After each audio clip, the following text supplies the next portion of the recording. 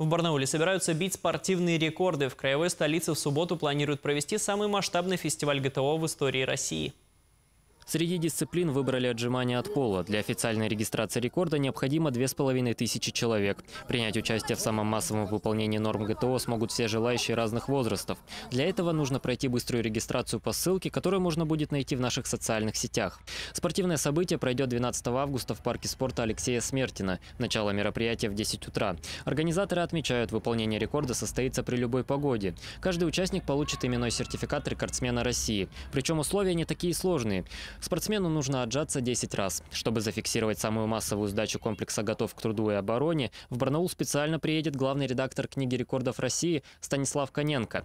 Министерство спорта региона рекомендует приходить вместе с друзьями, коллегами и родственниками. Так больше шансов установить рекорд.